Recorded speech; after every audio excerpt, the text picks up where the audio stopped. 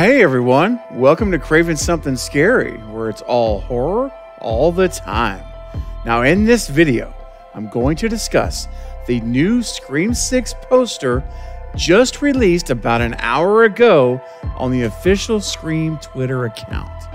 Now, this is the third poster that has dropped and the second poster that has been released in the last seven days. Now, the previous one came out on Christmas Day, and this new poster being released today on New Year's Day. Now, the last poster on Christmas gave us lots of clues, such as Wrongly Accused, the musical, we saw Stab 9, and we saw other things as well.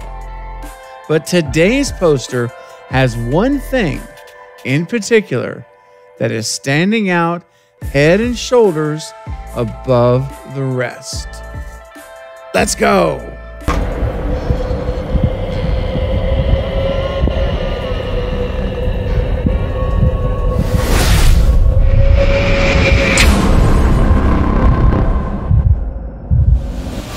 Okay, so let's dive right into this poster. So here we see it's a New York City subway poster, like a map. And we have the black background and then all of the multiple color lines for like these subway tracks, which of course come together to make the ghost face mask, as we can see. Now, what's interesting about this is as you look at it, you see there are names of pretty much not not necessarily every character, but almost every character you can think of from the previous five films. They are all in here on a, one track or another. So you see them from all the movies, and they're all you know what signify with a circular white station like a stop where you would, you would get off there or load up there. Now, what's interesting though about this poster, as I mentioned earlier, unlike the Christmas poster, where there's Easter eggs seemingly all over the place, there's really only two that stand out that I can see on this poster that are different than the others. The first one I want to point out is Kirby Reed here on the orange right side. And you see for Kirby Reed, it says it has an X and it says closed. So the Kirby Reed station or drop off spot is closed. So that's one thing. But then the only other difference on this map, if you look at the very top, where we have Billy Loomis, we have Sam Carpenter, which is a very large circle. To the left of her is Billy Loomis. And then to the left of Billy, we have Stu Macher. And if you look at Stu Macher's circle, it's not white like every other person other than Kirby.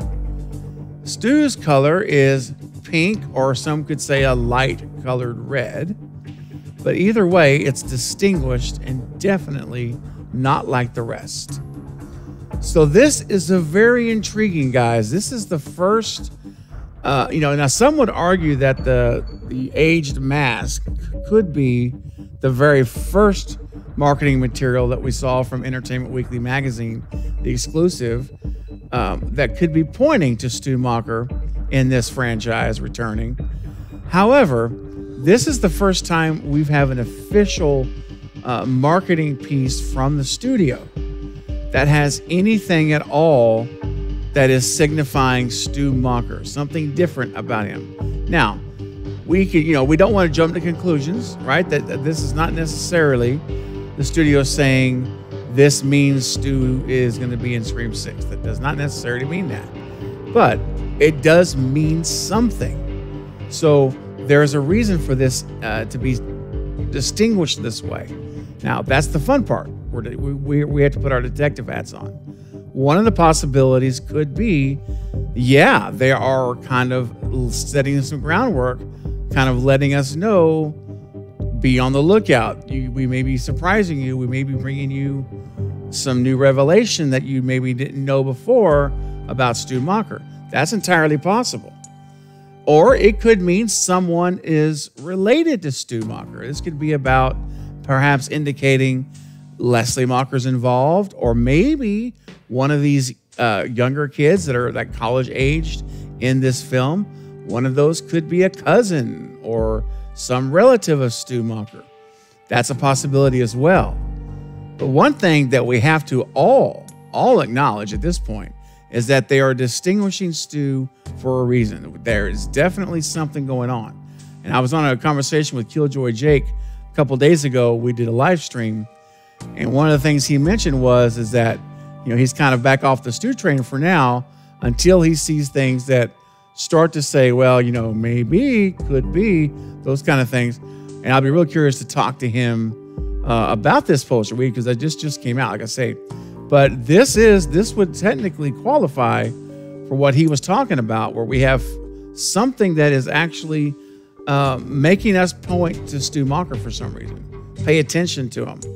So there's something to it. Don't know what it is. We'll know on March 10th, but it's definitely exciting. And if you guys know, I am the self-professed conductor of the Stu train, and I've I'm never getting off that train. I believe he's alive. Now that doesn't mean he's going to come back, but I do believe he's alive and that he can come back should they write him into the story, and they certainly can do that. Uh, doesn't matter what anyone from the past says, even Kevin Williamson. If the writers and the current team want him back, they'll bring him back, just like they did Kirby Reed. So that'll happen if that's what they want to do. But I'm excited as someone on the Stu train who is who does believe Stu's alive and the evidence points to it, that this is something at least that we can look at and say, hmm, that's interesting, that's different, that means something. And we'll have to wait and see exactly what it means till we see the movie, but that's what makes this so much fun. So, guys, I just had to jump on here. I know the video's not crazy long, but I wanted to jump in at least share this with you in case you haven't seen it yet because it is brand new. And I had to mention this interesting Stu Macher designation on this poster. Some reason that is a different color dot. So we'll have to see together what it actually is and why it actually is. But I know that there's a lot of possibilities, and one of those possibilities is, in fact, that Stu Macher will make his return, as we've been talking about for a long time, possibly even in Scream 6. Although I still do want Stu back in Scream 7. That's my preference. That's my really what I've been wanting to see for since Scream 5, really.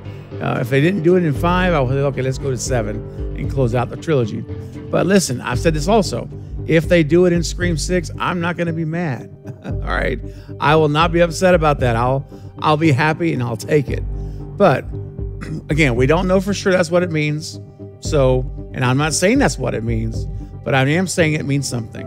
And that's what's going to be interesting to find out. All right, guys. Well, listen, I will leave it here, but I want to know what do you think about this new poster?